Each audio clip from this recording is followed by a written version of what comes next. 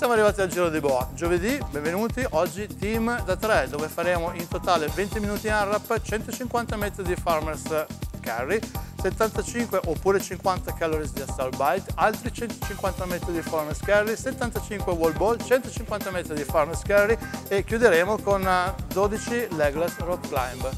Carichi e tutto il resto, qua di fianco, buona fortuna con questo WOD, ci vediamo domani per il Ciperone.